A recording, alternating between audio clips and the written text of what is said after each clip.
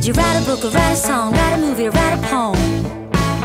You want someone to read your book, sing your song, laugh out loud, act a movie all night long? Did you light it up or blow it up or make it look like sun came up?